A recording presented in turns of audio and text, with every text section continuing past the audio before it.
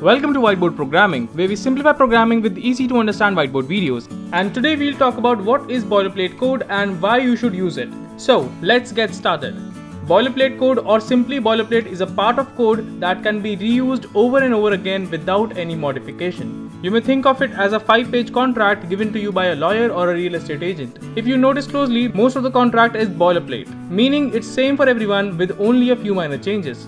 In the software industry, most developers create a collection of code snippets and assets that they can reuse to boost development, rather than rebuilding these every time. Most of developers start by keeping a copy of basic features and reuse them for each project or module they develop. Next, let's talk about why use boilerplate code. Well, there are a couple of benefits of using boilerplates. Number 1. Boosts early development. The main advantage of using boilerplate is that it reduces your initial software development time by reusing core things. Number 2. Less complexity. It also takes care of the complexity from your code and gives you possibly a cleaner code.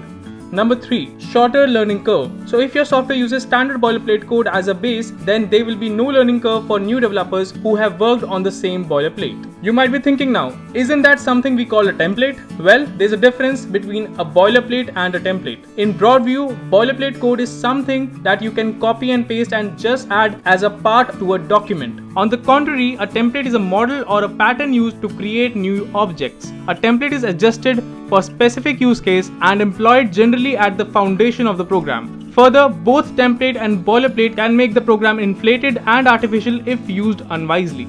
Lastly, in conclusion, we can sum up that boilerplate is a frame for your project. In addition, when you are aware that many similar projects are piling on your table, a boilerplate can be a massive time saver.